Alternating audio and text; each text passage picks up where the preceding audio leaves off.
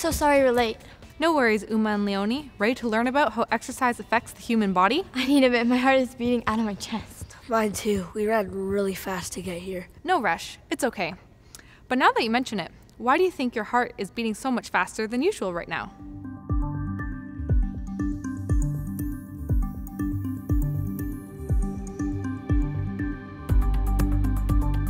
I think my heart is beating fast because we ran here. And your heart has to work harder. When you're doing something that is harder. That's a great thought. Do you think it'd be harder if you were doing jumping jacks like those people? Or walking like that person?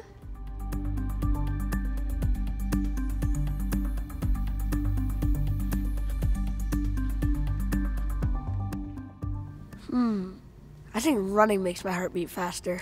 Well, I think jumping jacks make my heart work faster, but I'm not sure. That's a good question. Well, how about we create a simple experiment where we measure and compare your heart rate before and after you run, walk, or do jumping jacks? Okay, but how long should we do the activities for? And how can you measure our heart rates?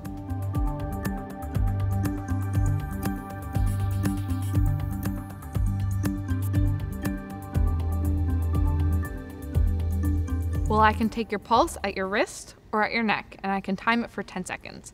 I can use the stopwatch or the clock on the wall to time it. And it doesn't feel like my heart rate goes up right away when I move. So how would I do each activity for three minutes? Does that sound good? Yes, let's try that. How about we measure your base heart rate first, then you'll each do the activity for three minutes, and then we'll measure your heart rates again. I also think we should take our heart rates two minutes after the activity is over to see what happens after you stop, because right now I don't feel my heart beating as fast as I did before. Okay, let's find out.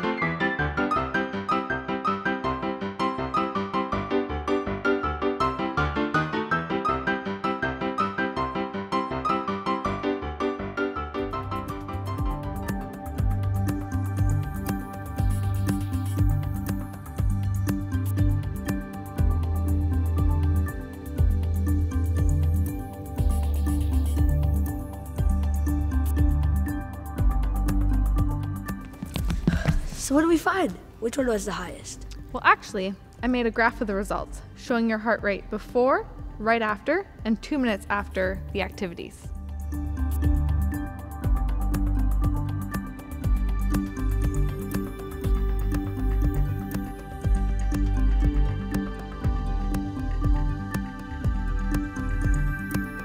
So it looks like the jumping jacks made our heart rate go up the most. This makes sense to me, since it was harder to do the jumping jacks for three minutes compared to the running or walking. Do you think we'd get different results if we did the experiment differently? Like how? How can we do it differently?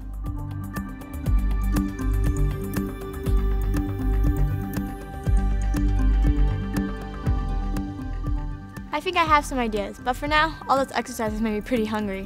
Hmm, I wonder why that is. What do you think?